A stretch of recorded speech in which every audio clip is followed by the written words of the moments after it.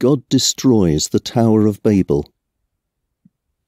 At first, everyone spoke the same language.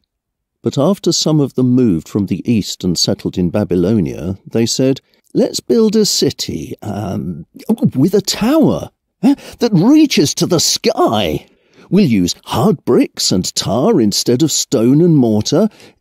We'll become famous, and we won't be scattered all over the world. But when the Lord came down to look at the city and tower, he said, These people are working together because they all speak the same language. This is just the beginning. Soon they will be able to do anything they want. Let's go down and confuse them.